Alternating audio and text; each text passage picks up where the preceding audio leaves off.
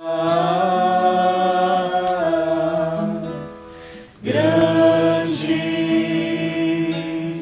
é o Senhor em quem nós temos a vitória,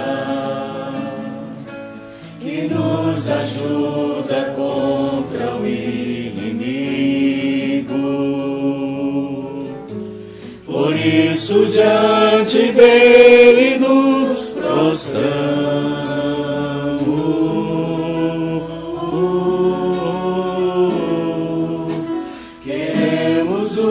Teu nome engrandecer e agradecer-te por tua obra em nossas vidas.